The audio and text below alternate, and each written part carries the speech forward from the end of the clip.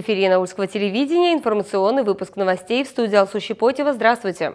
Общее число заболевших новой коронавирусной инфекцией в республике по состоянию на 19 октября достигло 9809 человек. За сутки подтвердили 68 новых случаев заражения COVID-19.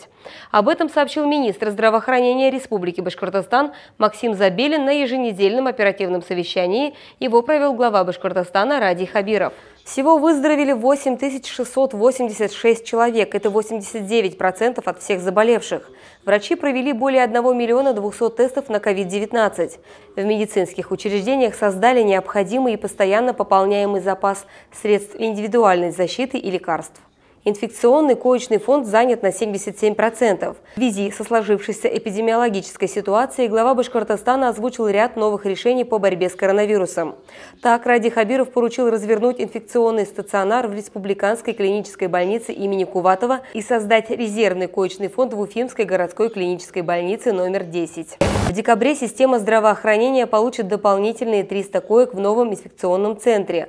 Он возводится в Стерлитамаке. Глава республики поручил организовать организовать во всех государственных учреждениях и на предприятиях работу медицинских инспекторов из числа сотрудников. Этот человек будет отвечать за входной температурный контроль, соблюдение масочного режима и других санитарно-эпидемиологических требований. Беременных женщин, работающих в государственных учреждениях и подведомственных организациях, переведут на дистанционный режим работы. Частным компаниям рекомендуют поступить так же, чтобы сохранить здоровье и обеспечить безопасность будущих матерей. Кроме того, нужно предусмотреть особый режим работы для тех, кто страдает хроническими заболеваниями. Глава Башкортостана поручил возобновить рейды по соблюдению санитарно-эпидемиологических норм в транспорте, учреждениях массового пребывания людей. В Башкортостане появится Республиканский градостроительный совет. Создание новой структуры анонсировал глава региона Ради Хабиров. Совет должен обеспечить реализацию единой градостроительной политики на территории всей республики. Тем временем аграрии Башкортостана в 2020 году намолотили более 4 миллионов тонн зерна. Это на 25% выше прошлогоднего показателя. Глава региона отметил, что за последние 10 лет это лишь второй раз, когда республика смогла перешагнуть эту отметку. Очередное заседание оперативного штаба по контролю и мониторингу ситуации с новой коронавирусной инфекцией на территории Янаульского района прошло в понедельник, 19 октября. О текущей ситуации с заболеваемостью COVID-19 рассказал главный врач района Тимур Мадьяров. О проведении дезинфекции в многоквартирных домах доложил директор управления жилищно-коммунального хозяйства Руслан Юсупов. Полная обработка подъезда э, проводится это раствором хлорамина поручней, подоконников, почтовых ящиков, тамбурных и аудиодомофонных дверей, а также влажное орошение раствором хлорамина, хлорамина стен потолков. Э, на сегодня, э, значит, мы в марте, с марта по август обрабатывали подъезды 2-3 раза в неделю. С сентября месяца проводим один раз в неделю. Э, на сегодня один раз в неделю обрабатываем это 366 подъездов тех многоквартирных домах, где собственники приняли решение оплачивать за комплексную уборку помещений многоквартирных домов.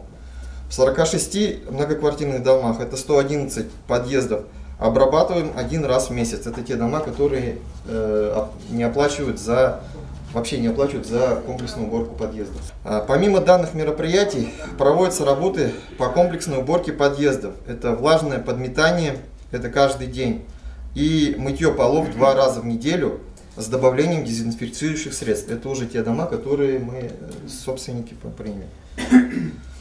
А, на сегодняшний день общая стоимость дезинфицирующих, дезинфекционной обработки мест общего пользования в многоквартирных домах составляет 4 миллиона 461 тысячи рублей. Это с марта 2020 по сентябрь 2020 года. О том, как ведется контроль за соблюдением санитарно-эпидемиологических требований на объектах торговли и обслуживания населения, рассказала главный специалист отдела по экономическому развитию и предпринимательству Лилия Мухидинова. По объектам продовольственной сферы люди уже, как, э, магазины уже привыкли к тому, что они работают в масках, в перчатках и требуют от э, посетителей, от клиентов, чтобы те тоже были э, в соответствующих масках. Э, моя задача состояла на, этой, ну, на той неделе в том, чтобы проверить объекты непродовольственной сферы. То есть я проверяла больше магазины одежды. Вы ходили или комиссионно? Я сама ходила, лично сама, сама ходила. Как бы проверяла больше объекта непродовольственной сферы, то есть магазины одежды. Вот в субботу я прошлась, два торговых центра э, проверила, и, и ли, линии магазина вот по Ленина 8, затем по Советской, это уже в пятницу как бы прошла. Ну, на дверях все эти надписи есть, то, что не обслуживаем без масок, что э, ну, необходимо наличие нас, масок у посетителей, у клиентов. То есть, как бы продавцы это соблюдают, но есть такие, которые уж сами заходят без масок. Но теперь вот на опыте скажу, они уже не пускают. В последние дни уже прямо не пускают в магазины, то есть возвращают, люди обижаются, ну а куда деваться? То есть вот картина такая. Также на совещании обсудили все возможные меры по соблюдению санитарно-эпидемиологических требований в учреждениях, предприятиях и организациях Янаульского района. Было принято решение возобновить рейдовые мероприятия по общественным местам. Еженедельно 20 октября отмечается Международный день повара. Свой профессиональный праздник справляют все кулинары, кондитеры и технологи. Каждый день свои маленькие шедевры создают повара и кухонные работники детских садов нашего района. Подробности у Гульнары Сидиковой. Рабочий день повара начинается рано. К 6 утра, когда практически все еще спят, работа на кухне уже кипит. Гульнас Гарифулина в детском саду работает 5 лет. К своей работе относится с любовью. Говорит, что здесь получается даже вкуснее, чем дома. Хотя приготовить блюда для более чем 250 воспитанников не такая простая задача. До этого работала в лагере, тоже поваром. Здесь 5 лет. На повара выучилась в Янаульском УК мне своя профессия нравится. Я люблю, когда получается вкусно. Радуюсь.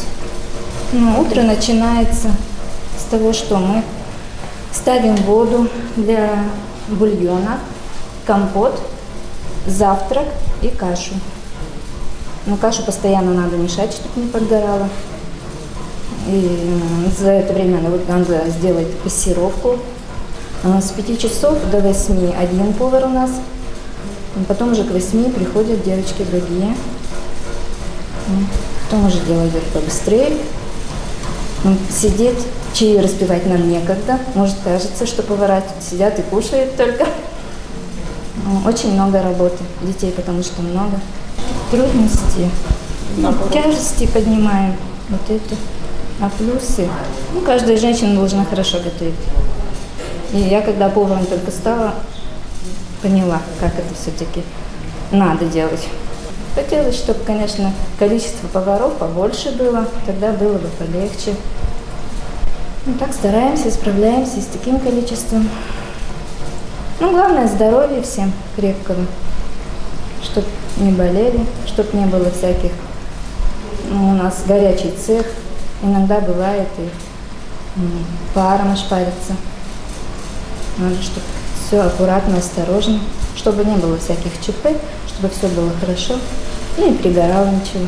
Сусана Абганеева поваром работает почти 30 лет. Сейчас делится своим опытом с молодыми сотрудниками. В 8 утра к моменту раздачи все готово. И пока помощники воспитателей разносят завтрак по группам, сами кухонные работники начинают готовить обед. Завтрак малыши съедают с удовольствием. Традиционная утренняя каша и полезная, и вкусная. И если ребята младших групп сосредоточены на самом процессе приема пищи, то в подготовительной группе уже точно знают, что значит профессия повар. Повар – это кто готовит еду для детей. Очень вкусно. Он готовит всякие супа, каши. Я хочу бы стать поваром, э, потому что они вкусно готовят. Повар – это который готовит вкусную еду, суп, каши, пюре, вкусно готовят. Мне нравится. Кушаю вкусно очень. Поварам спасибо. После завтрака с новыми силами ребята приступят к занятиям. А на кухне работа не прекращается. Здесь готовятся блюда к следующим приемам пищи. Такой привычный, кажущийся незаметным и обыденным для многих труд поваров, между тем значителен. Ведь питание – одна из главных потребностей для каждого человека. Гульнара Сиддикова, Нил Сафин, служба новостей Янаульского телевидения. С 19 октября в Башкирии стартовала акция «Внимание, дети», направленная на профилактику детского травматизма на дорогах. Так, с начала этого года совершено более 300 дорожно-транспортных происшествий с участием детей. Более 330 маленьких пассажиров и пешеходов получили травмы различной степени тяжести. К сожалению, есть пострадавшие и в нашем районе. 15 октября 2020 года, примерно 8 часов, на седьмом километре автодороги Нефтекамск-Энергетик водитель 1997 года рождения, управляя автомобилем марки Hyundai э, Santa Fe, не справился с рулевым управлением и совершил наезд на восьмилетнюю, восьмилетнюю велосипедистку, которая двигалась по правой стороне обочины. Э, после чего автомашина съехала в кювейт, а девочка получила телесные повреждения.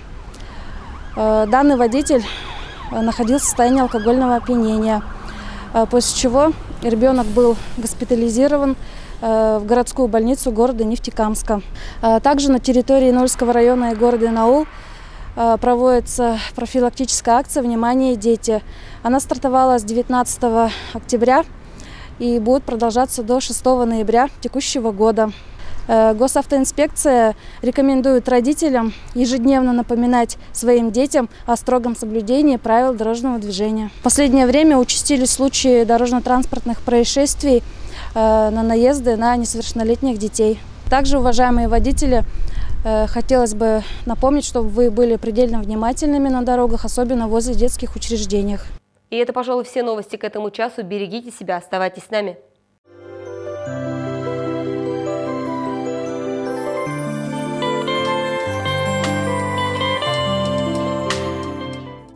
21 октября в Янауле ожидается малооблачная погода «Дождь». Ветер западный 3,10 метров в секунду.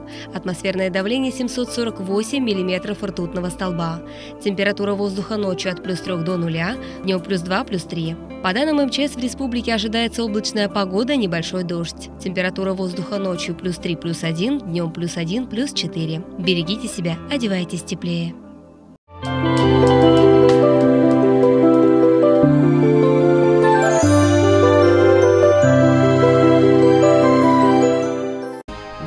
октября. Памятная дата военной истории России. В этот день в 1827 году русский флот с союзниками разгромил турецкий флот в Наваринском сражении у берегов Греции. Русские не потеряли ни одного корабля. Потери турецкого флота составили 60 кораблей. Один только флагман русской эскадры «Азов» уничтожил 5 турецких кораблей.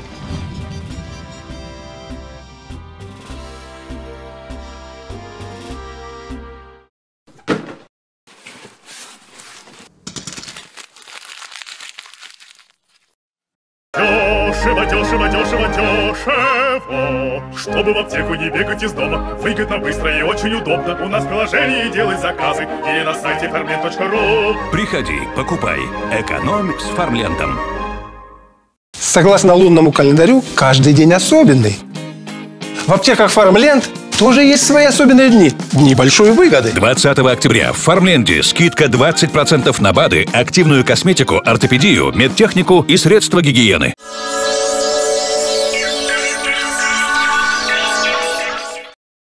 Янаульскому телевидению требуется главный инженер. Телефоны 50402 599 95. Янаульскому телевидению требуется оператор эфира с навыками компьютерной графики. Телефоны 50402 599 95. Янаульскому телевидению в отдел музыкальных программ требуется корреспондент с перспективой карьерного роста. Знание татарского и башкирского языков обязательно. Телефон 50402 528 71. Боже, меня храни. Я здесь власть. Ха! Власть, говоришь? Ха!